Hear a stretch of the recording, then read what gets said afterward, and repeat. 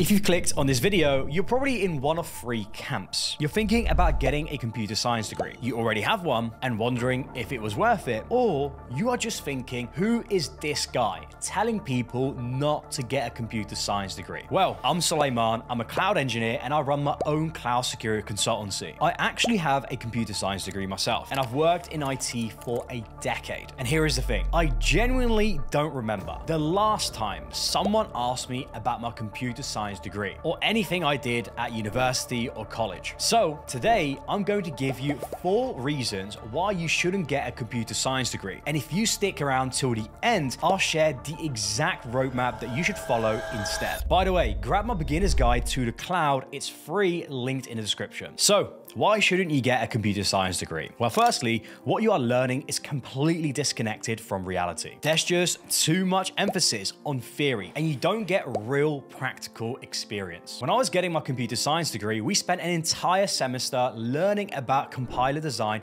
and theoretical algorithms. And do you know what happened when I landed my first tech job? Not once did anyone ask me to write a compiler from scratch. And the point is, four years is a long time to be studying theory. By by the time that you finish with the rate of development in AI and where everything is heading in tech, there's a great chance that the industry has changed so much by then that your degree is completely worthless. In fact, the World Economic Forum reported an estimated 85 million jobs are being displaced by AI in 2025, and it's only accelerating. That's why you need to be planning for that. And to be honest, this isn't just tied to a computer science degree alone. This is actually a problem with traditional education as a whole. Now, unless unless you're going to become a doctor or a dentist, those few specialized professions. Other than that, you don't really need to get a college degree for most careers. Secondly, the cost of a computer science degree versus the return on investment doesn't make sense anymore. So in finance, return on investment or ROI just means for the money I'm putting into this asset or stock, how much am I expecting to make back? Now, in the US, you're looking at a range of 30 to $60,000 per year to study computer computer science, and that's not including living expenses. Now, if you are lucky, after four years of studying, you'll be able to land a job after graduating and earning fifty to $60,000 per year. But that's not the case for a lot of people because these spots are super competitive and there's a huge influx of people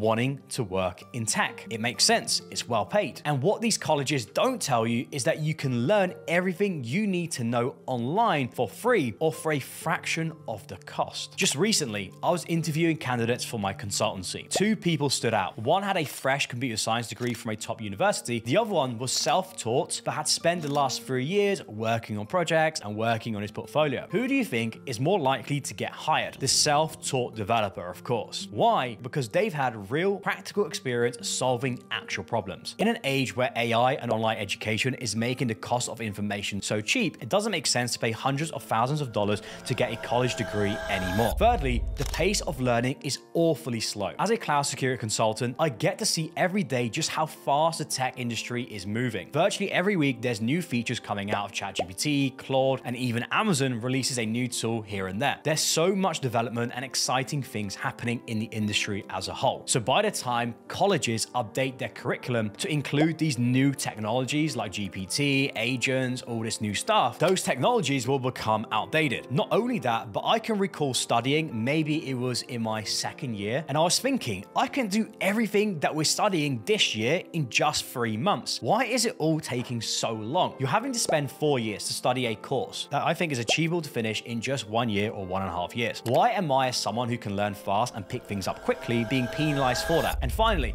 perhaps the most crucial point, computer science degree creates a false sense of security. It used to be very prestigious, and even the colleges themselves, my mentors, and the lecturers used to make me think, yes, once you graduate, companies will be fighting to hire you. But the reality, according to Forbes, many people are like David, who'd called in because his son completed a computer science degree, but he couldn't land a job in software engineering. This was supposed to be a high demand field, he complained. Now, to compound on top of this, in 2023 and 2024, hiring has of course slowed down among significant tech layoffs. More than 400,000 people have been laid off. Interest rates have been high, so the cost of borrowing money goes up, therefore companies are less likely to invest in hiring more employees, which makes the competition for places at tech companies even more competitive, giving them the option to pick the best of the best. And in most, if not all cases, they're going to be hiring people that are ready for the job, which is actually a perfect segue for what you should do instead of getting a computer science degree. So here is a five step roadmap that I recommend you doing instead. And I want you to forget everything you know about traditional education. Now, as someone who's worked in IT for 10 years, what really matters in tech is your ability to learn, build, and solve real problems. I originally started as a tech apprentice. I was at the bottom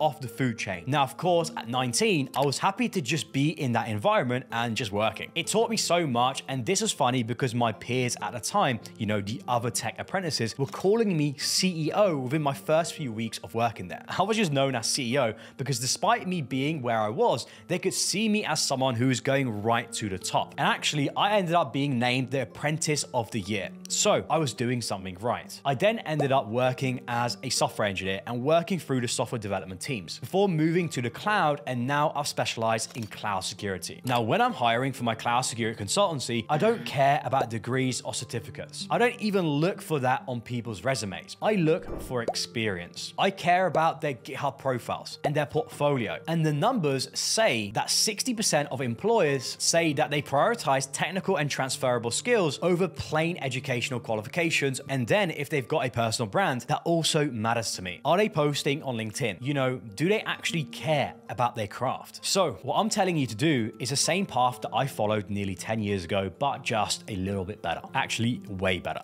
So you need to choose a high demand skill that genuinely interests you. Right now, fields like cloud engineering, AI machine learning, data engineering, whatever you are interested in learning, maybe it's coding. It doesn't matter what it is, as long as you've researched and found that the industry is growing and there's a big demand for professionals, not just today, but in the next three, four, five, ten years too. That's it. And by the way, if you are interested in cloud engineering, then consider joining my Cloud Engineer Academy. I'll take you from beginner with no IT experience to job ready cloud engineer in just 12 weeks. And don't take my word for it. Check out Jay's story. Jay went from banking with no technical experience to cloud hired in less than six months. Link in the description. And if you're not interested, that is also fine too. You can actually continue to get free value and my perspectives on the cloud and tech on this channel. And if you like what I share, then drop a like. It really helps with the YouTube algorithm and make sure you follow me on LinkedIn and Instagram as well, because I'm virtually posting on there single day. Now, step two is to learn and build. Okay, so as I said before, traditional education focuses too much on theory, but you are not going to make the same mistake. You're going to be resourceful and make the most of all the information on the internet to teach yourself the fundamentals. It has never been easier to access information, and most of the time it's free. All you need is an internet connection and the drive to make things happen. The problem is most people don't want to put in the time and dedication required. They get bored or they are distracted. The reality is the quality of content on YouTube alone surpasses most university classes. Experts are literally giving you industry insights, teaching you everything that you need to know, and it's absolutely free. And this is what will set you apart and actually help you land a job. You need to be building projects as part of your learning process. The theory and learning is one thing, but actually getting hands-on experience and building something and testing that it works, that's where the real learning happens. Can you develop a simple app, something that people can use and test and give you feedback? And it needs to solve a problem. Don't be building to-do applications or a calculator. That is BS. Recently, I saw a bunch of 18 to 19 year olds develop an app which tells you the calories of the meal you're simply eating by just taking a photo of it. And I know they're making so much money from this, seven figures a month. That should empower you to think, okay, you know, I can do the same. You'll need to set aside three to four hours each morning for deep work. No phone, no distractions. And if you don't know what projects to build, just go search on YouTube. It's all there. Just apply yourself and get to work. Stop being lazy. No one's coming to save you. Now, for step three, you have to build your personal brand. And consider this Mark Zuckerberg, with all of his billions of dollars, is actively building his personal brand through Instagram, sharing his MMA journey, his family time. Look at Jensen Huang, the CEO of Nvidia, creating content. They could easily be retreating into privacy, yet they are choosing to put themselves out there now more than ever before. The same goes for Elon Musk, who's constantly engaging on X, even before he owned the platform. These billionaires understand something crucial. Your personal brand in the age of AI, it matters more than ever before. The internet has changed how we get jobs and opportunities. 10 years ago, you would send out a resume and hope for the best. That's not how it works right now. I've seen tech professionals get hired straight from LinkedIn. Why? Well, because they've built what I call a trust bank through their personal brand. When you're consistently sharing your insights, projects, learnings, journey online, you're building trust with potential employers and clients before they even meet you. It's like having a 24 7 resume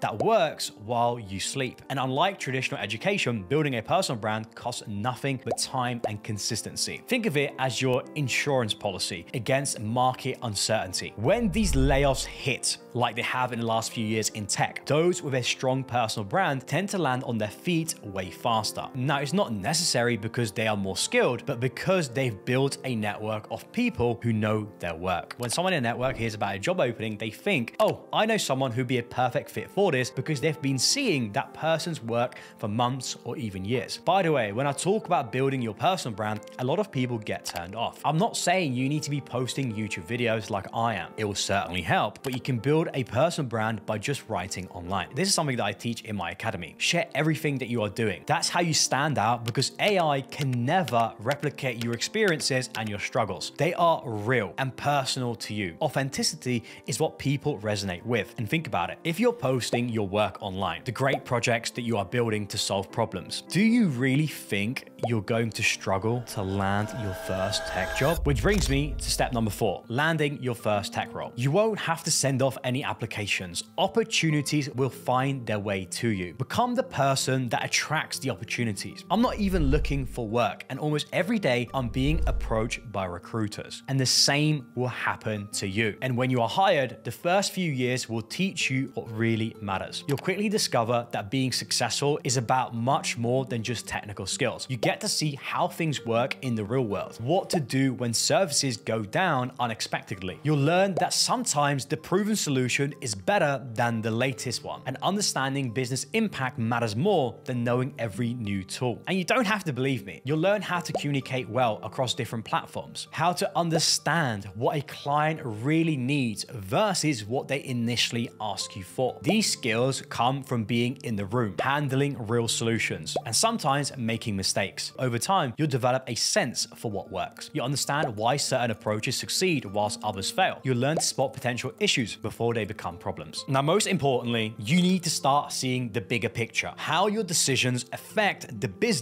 and its users. Now, after you spend three, four, five years in the industry, you are ready for step number five. This is when you can start thinking about working for yourself. The timing here is crucial. You now have real industry experience. You understand how businesses work. You've built a professional network and you've hopefully saved some money from your nine to five. So start small by taking on freelance projects whilst keeping your main job. Use your network to find clients who need your expertise. Focus on solving specific problems that you've become an expert in through your industry experience. Now, as your client base grows, you can quit your nine to five once you're earning the same amount from your freelance projects. I followed this exact path and built my cloud security consultancy. Remember, the market pays for value and not for effort. By this point, you're not just offering technical skills, you're offering years of practical business experience and solving real problems, tangible value, and you'll be paid very well for this. So, do I genuinely believe that computer science degree is completely worthless? On the whole,